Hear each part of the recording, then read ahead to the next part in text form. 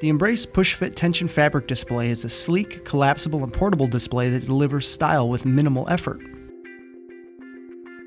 Begin assembly by locating the white hubs on the frame and making sure they are facing up. Gently push to stretch the frame to size. Push on the top of the frame to snap all the purple locking arms into place. If arms are not properly aligned, gently tug into place before pushing to lock.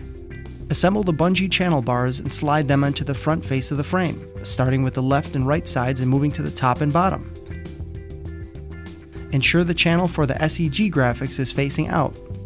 Stand the frame up. Lock your channel bars into place on the back left and right sides only. To attach your push fit fabric graphic, begin by sliding the silicone edge beading into the channel bars on the top and bottom of the front of your display, smoothing to finish. Repeat on the rear facing channels as well, making sure to pull all the way to the back of the frame not using the side channels. Graphics should be taut. For frames over 3 quads high, stabilizing feet attach simply.